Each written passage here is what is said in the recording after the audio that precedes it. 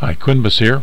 Uh, the purpose of this screencast is to demonstrate an issue I'm having with embedded links within uh, the detail editor, the node detail editor.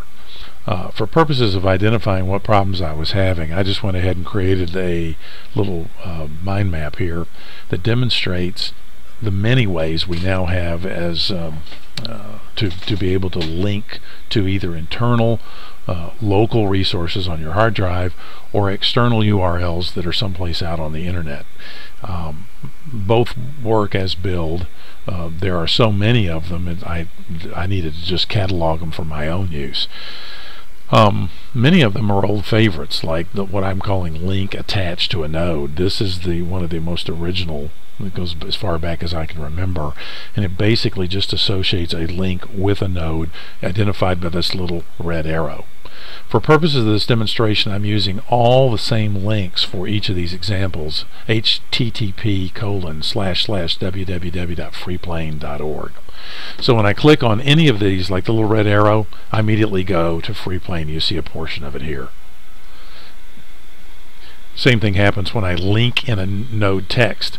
Basically, I open the node with a node editor and then I type in a phrase, highlight it, and then using the capabilities within the HTML editor, create a link associated with that phrase. When I mouse over that, that now blue with an underline, I get the little indicator, click on it, and it goes just like it's supposed to. Same thing with link embedded in notes create open the node editor create a phrase highlight it associate it with a link and you get the indication in, in, by its color and its underline that it's a link. And when I mouse over it I get the little finger that says I'm ready to go. When I click on it works great.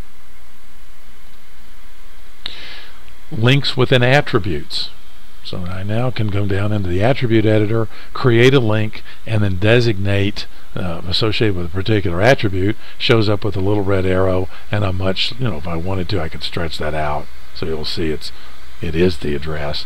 When I click on that, works great. But now we come to link in details. I open a detail editor for the node. I create the phrase just like I did for the others, highlight it, and designate it as a URL. It changes its color, it's underlined in blue, and when I mouse over it, it looks like a valid URL. But when I click on it, like now, nothing happens. If I click on it again, nothing happens. Now if I double click, which opens the inline detail editor, and then select the word link while holding down the control key, it goes like it's supposed to. But it it's not behaving in the way the others do in that I just mouse over it, click it, and it goes. I have to open the editor, hold down a control key, and do something different. So that one instance appears to me to be different than the others. Over on this side, we're talking about references to a local hard drive. I always use the same approach in each one of these, using a relative reference um, to my icon folder. They all work the same way. I mean, it's the exact same thing. I won't go through each of these, but clicking on each of these instances works as build until I get down to a, a reference embedded in inside the detail of the node. When I click on it, now nothing happens click on it, nothing happens. Double click, hold down the control key, and click. I get the I get the uh, directory open on my hard drive. So there's something going on with the way um, with the way details are being managed versus the others, and I just it may just be a something a setting on mine, but given that the others work, seems like something is wrong in the program. But that's for smarter minds to figure out than me. So just wanted to make you aware of it and give you an example of what I'm saying. Uh, let me know if you have questions. Thanks.